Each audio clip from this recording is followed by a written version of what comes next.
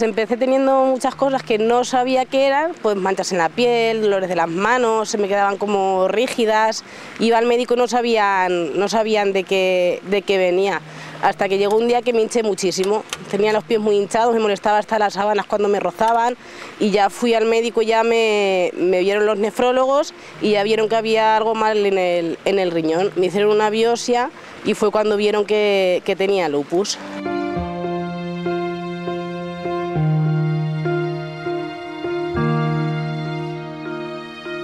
Pues todo empezó pues, cuando nació nuestro hijo, que bueno, pues en los primeros días después de nacer pues, nos fijamos y tenía pues las mismas uñas igual que yo.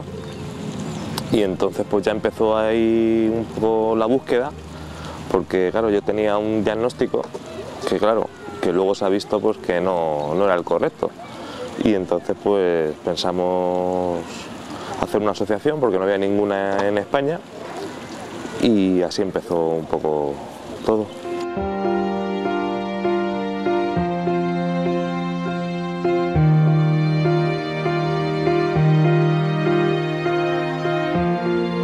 A mí me cambió la vida eh, completamente porque ya tienes que adaptarte, no, no puedes hacer lo que tú hacías, eh, todos tus proyectos, todas tus cosas te cambian porque ahora tienes que adaptarte a la enfermedad, no, no puedes hacer lo que tú quieras sino lo que la enfermedad te deja.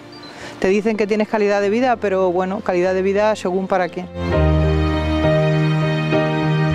Desde que empecé llevo ya 10 años, sí está el reconocimiento en España, pero hay que llegar a la ONS. Entonces, con lo cual, mientras que la sensibilidad química múltiple pues no llegue a la ONS, pues imagínate todo lo que queda por hacer, o sea, queda mucho por hacer, porque no es algo que dices, me afecta a mí, si tú ya sabes cómo me cambia la voz y cómo me, me transformo en décimas de segundo, pero mm, no es algo que me haga daño a mí, es que es algo que nos está haciendo daño a todos.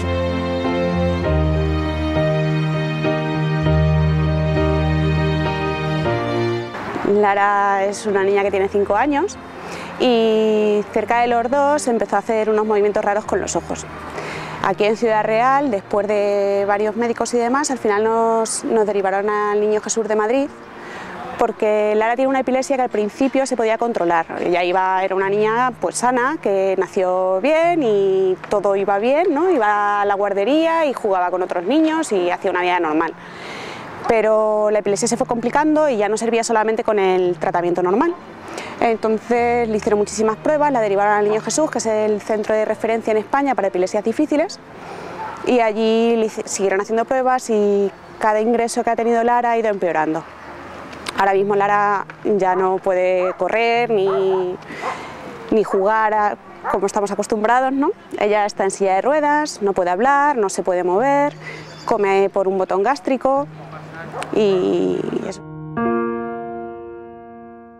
Hoy 28 de febrero se celebra el Día Internacional de las Enfermedades Raras o Poco Frecuentes. Solo en España hay más de 3 millones de afectados. Hoy queremos conocer de primera mano el testimonio de varias asociaciones de Ciudad Real afectadas. Y además no es casualidad que estemos aquí frente eh, al templete de los Jardines del Prado porque el próximo, la próxima carrera de la mujer, el 31 de marzo, irá destinada a algunas de estas asociaciones y además se cubrirá de ganchillo todo el templete.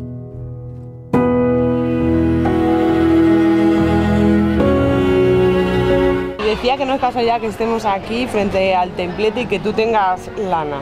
No, no es casualidad. Que gracias. Bueno, la sorpresa que teníamos preparada para este año con la carrera de la mujer es que van a correr por las enfermedades raras. lo recaudado, ¿vale? Por así decirlo, es, vamos a estar el Lupus, Guerreros Púrpura y SFCSQM de Castilla-La Mancha, bueno, en este caso de Ciudad Real. Y bueno, pues como yo creo que es algo muy solidario y creo que es algo muy bonito y que creo que además es una sorpresa bonita para Ciudad Real, pues por qué no, eh, aparte de correr, pues también tejer. Y entonces, pues eh, ya tenía ganas de que repetir hazaña con tejer, porque es la mejor manera de dar visibilidad a las enfermedades raras o poco frecuentes, y entonces a las tres asociaciones nos pareció bien, lo comentamos, dijimos que sí y para adelante. Entonces, si no pasa nada, el reto reto a todos los ciudadanos de Ciudad Real, retamos mejor dicho, a tejer el templete. ¿Cómo? Eh, el tejado lo queremos cubrir completamente con los colores que mm, ahora os, os diré de cada asociación. El templete con aplicaciones de 20 x 20 y eh, lo que son las columnas también forrarlas y bueno pues va a llevar como una especie bueno no os voy a desvelar todo porque si no no queda bonito. Entonces lo que sí animo vale porque creo que es algo muy bonito y que aparte de que sea la carrera solidaria es que necesitamos aplicaciones solidarias aparte de las inscripciones vale por hacerlo más más completo por así decirlo la carrera de la mujer.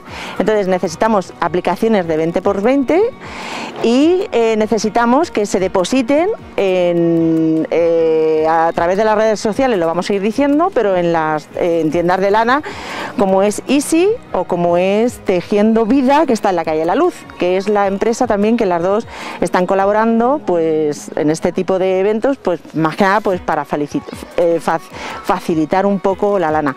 Es solidario, con lo cual nosotros agradecemos, pero las aplicaciones tiene que aportar cada ciudadano o cada tejedora su aplicación.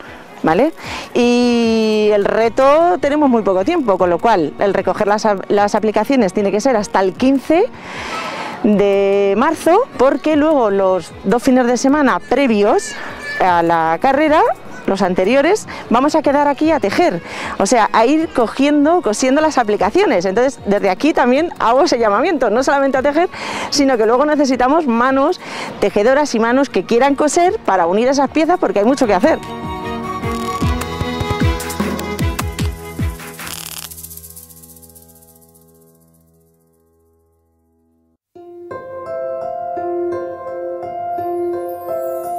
Soy la presidenta de Guerreros Púrpura y esto empezó porque un grupo de padres de niños con enfermedades neurológicas, metabólicas y endocrinas eh, decidimos juntarnos para mejorar la calidad de vida de nuestros hijos.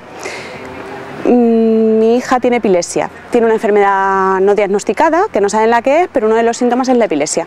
Entonces, estando ingresados en el Hospital Niño Jesús de Madrid, estuvimos allí casi un año y nos juntan, pues haces relación con todos los padres, con todos los niños, ¿no? Te haces como familia y había un proyecto y decidimos los padres ayudar a que saliese adelante.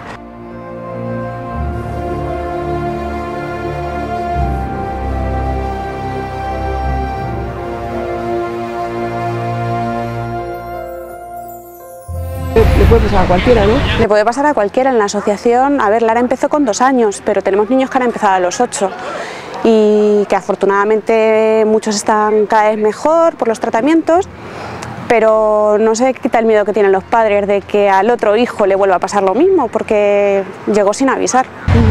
No, se sabe mucho de, esta, enfermedad, patología.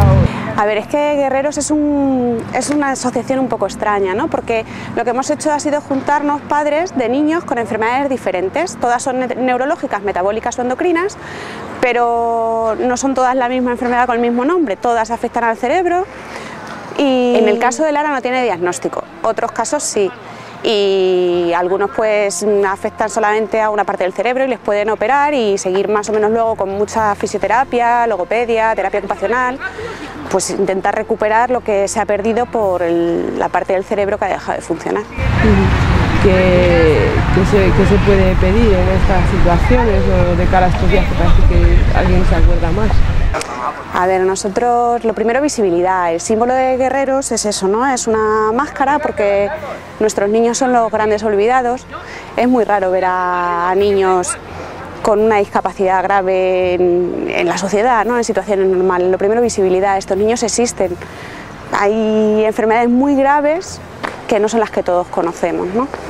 Y en estos días lo que más nos interesa como padres es que ellos sean felices, lo primero, que cuenten con todos los medios que necesitan. Es muy importante ayudas en terapias porque se pasan el día en terapia. Los niños que van a un cole Luego por las tardes hacen extraescolares, ¿no? Nuestros hijos van a terapia, van a fisio, van a logo, a equinoterapia, a hidroterapia, a musicoterapia, a mil cosas, ¿no? Esas son sus actividades extraescolares y todo eso pues necesitamos ayudas. Y luego por otro lado lo más importante investigación, ¿no? Para no quedarnos como estamos y poder seguir avanzando y poder ponerle nombre a todos los casos. y eh, alguien que pueda ponerse en contacto con la asociación, que tenga algún caso, que quiera ayudar, también lo puede hacer. Por supuesto, sí, una de las labores más importantes que hacemos es el apoyo entre las familias. Eh, nos ayudamos, nos comprendemos, quedamos de vez en cuando, tenemos un, grupo de terapia de padres con una psicóloga. Entonces, claro, estamos, estamos para eso, para ayudarnos. ¿Algo más que queramos decir? Que aquí estamos.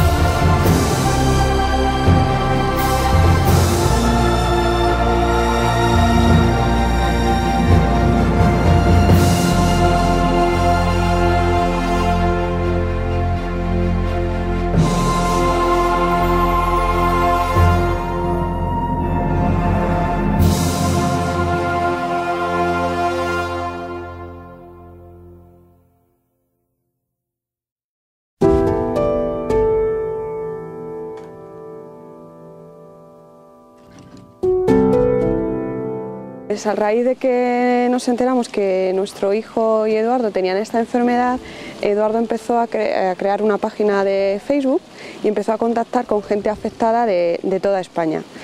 Y ahí fue un poco el inicio de la idea de crear la asociación. Llevamos desde enero del año pasado, llevamos un añito y poco, y bueno, pues en este año hemos hecho diferentes eh, cosas, como un torneo de pádel benéfico, sobre todo una guía de detección, eh, varios proyectos, uno de detección precoz, eh, y bueno, pues ahí vamos haciendo pasito a pasito diferentes cosas, sobre todo con el objetivo de dar a conocer esta enfermedad y, y sobre todo pues un poco eh, que la gente, que habrá mucha gente que no esté ni siquiera diagnosticada, pues que, sepa que, cuál es la enfermedad y que hay una asociación que bueno, pues estamos para, para apoyarles, informarles y bueno, pues que nuestra experiencia sirva también para, para estas personas.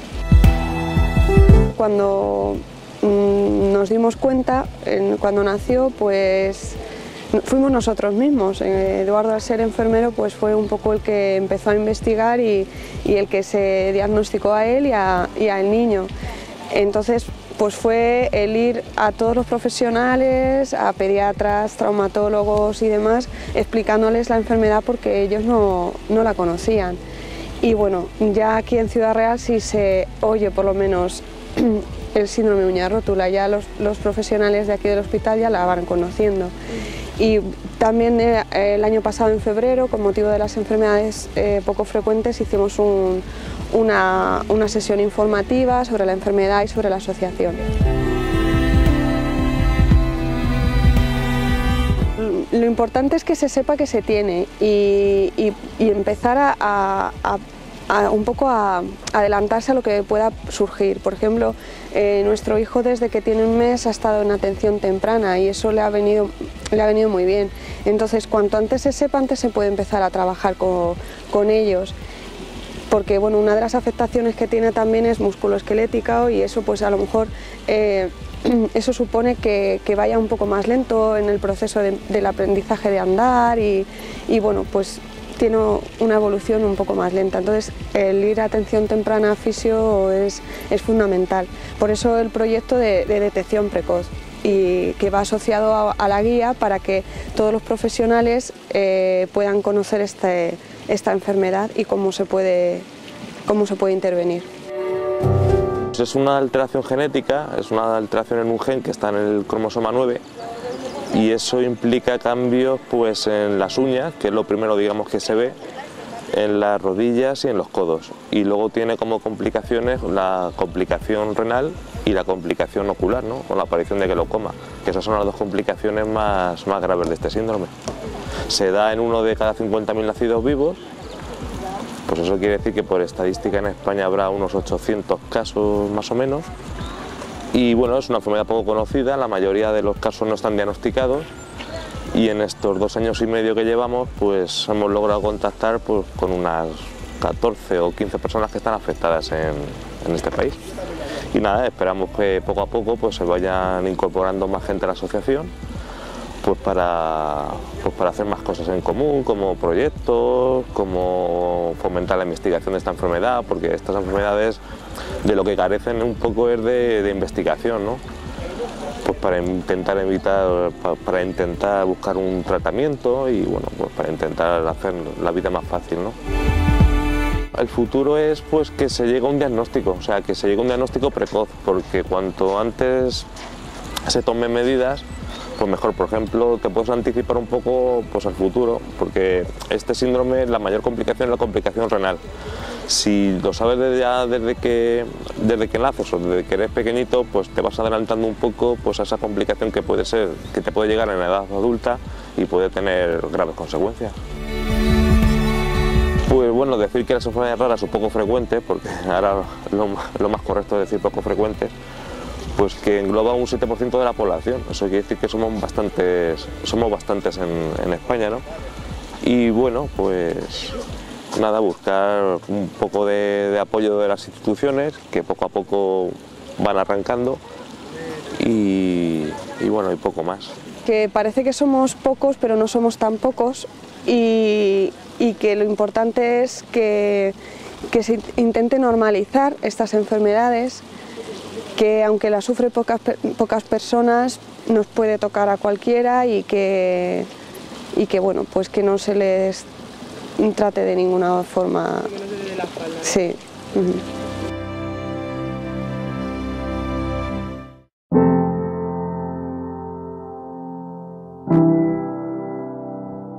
Pues surgió con, eh, se hicieron unas jornadas, eh, un grupo de personas que estaban afectados, se hicieron unas jornadas y a partir de las jornadas se hizo, se fundó la, asociación, en 2012 se hizo. ¿Qué ha cambiado un poco desde 2012 hasta hoy?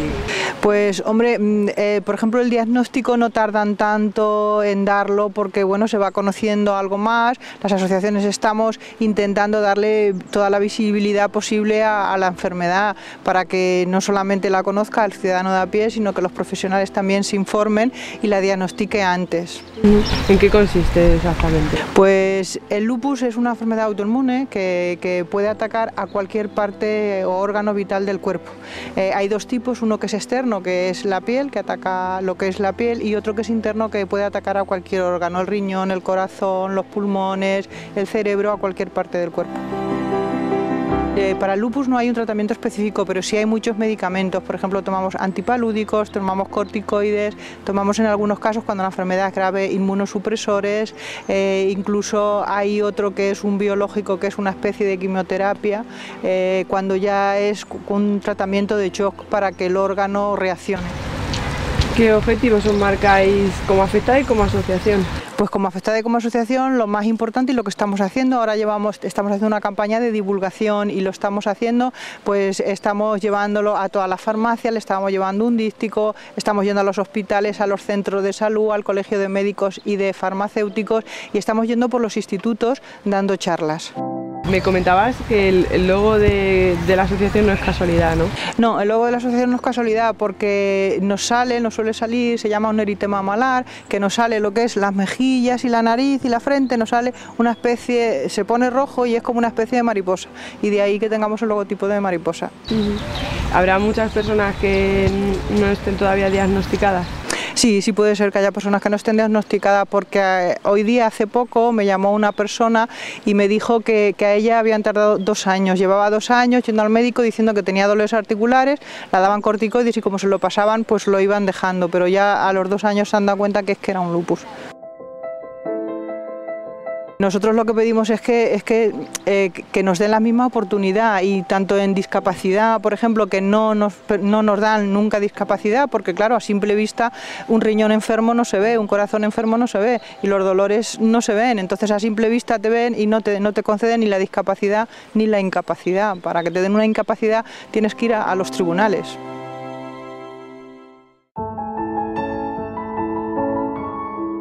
Estoy como mucho más cansada, el tomarte muchas pastillas, el sol por ejemplo tienes que tener cuidado de que no te dé mucho porque es como si el cuerpo viera que es un ataque, tienes que estar muy relajada, no tienes que tener estrés, la presidenta de la asociación Puri conocía a un familiar mío y mi familiar me lo comentó de la, asociación, yo no sabía que había asociación de lupus aquí en Ciudad Real.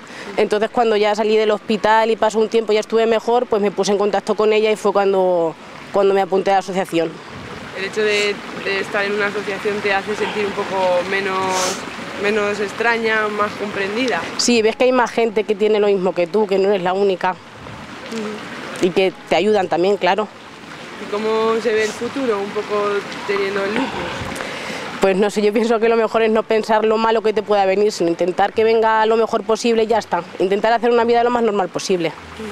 En cuanto a, la sociedad, un poco cómo se toma esta enfermedad, no se conoce, qué se dice de ella. Pues al principio de así mis conocidos la mayoría de la gente no lo conocía. Había alguno que lo había escuchado alguna vez, pero como conocer lo que es, la mayoría no lo conocían. Entonces pues cuando ya le cuentas lo que es, pues te animan en todo lo que pueden y te ayudan, claro. Y de cara a este día de enfermedades poco frecuentes, que si pudiéramos pedir o, decir algo para que la gente se quede con ello, ¿qué podríamos decir? Pues a mí me gustaría que tanto esta como todas las demás se conocieran más, porque no se conocen, entonces no se le da tampoco mucha investigación, no se le da prácticamente nada y hay muchas cosas como por ejemplo eh, la discapacidad para la enfermedad nunca te la reconocen, eh, los médicos piensan que, que te estás diciendo que te pasan cosas que en verdad no te pasan, pues que te hagan un poquillo más de caso, por así decirlo.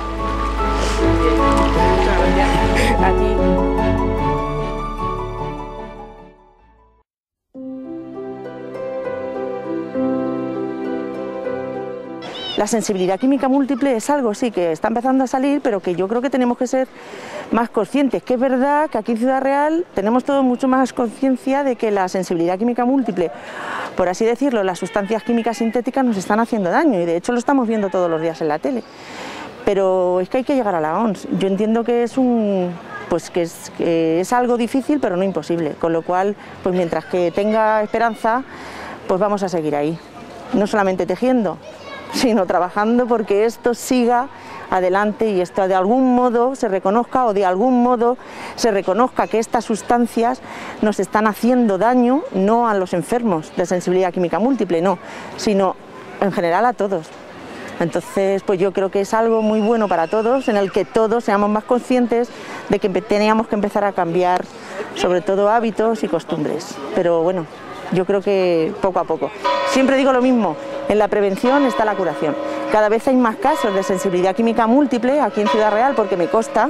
Entonces yo creo que es verdad que poco a poco eh, sí que se va mm, la conciencia como que vamos somos más conscientes, ¿no? Pero no está todo, queda mucho por hacer. Entonces bueno, pues seguiremos tejiendo. Hola, mm, soy Teresa Pérez de la Asociación Guerreros Púrpura y bueno, os animo a todos a que nos ayudéis a conseguir un pequeño reto que nos hemos propuesto, que es eh, eh, tejer eh, con esas aplicaciones de 20 x 20, tejer y cubrir este, este templete del Prado. Y bueno, pues que nos ayudéis a eso, a tejer cariño, amor y solidaridad para ayudar, en este caso a nuestros guerreros, pero a todos los que sufren en el día de hoy eh, enfermedades poco frecuentes o enfermedades raras. Y bueno, pues lo dicho, que nos, nos ayudéis a conseguir el reto y os estamos súper, súper agradecidos. Un beso. Hola, soy Puridonate de la Asociación de Lupus de Castilla-La Mancha y os queremos pedir que nos ayudéis a conseguir un reto solidario que es cubrir el templete del Prado con unas aplicaciones como esta, 20x20. Os animo a que colaboréis todos. Muchas gracias. Hola a todos, soy Mateo Gómez Aparicio el presidente del Quijote Maratón Adaz, una asociación que está colaborando con otras asociaciones en defensa y contra las enfermedades raras y os invitamos a todos, os invitamos a todos a tejer algo así parecido en el templete del Prado durante las dos últimas semanas, fines de semanas del mes de marzo, en favor precisamente de asociaciones contra las enfermedades raras. Gracias. Hola, soy Carmen Lozano de la Asociación de Sensibilidad Química Múltiple y os invito a todos a tejer. Tenemos un buen reto por delante y, necesitamos aplicaciones con los colores de nuestras asociaciones, de 20 por 20, más o menos, para que os hagáis una idea. El color es el púrpura, magenta, amarillo, naranja, verde y azul. Animaros a tejer. Gracias a todos.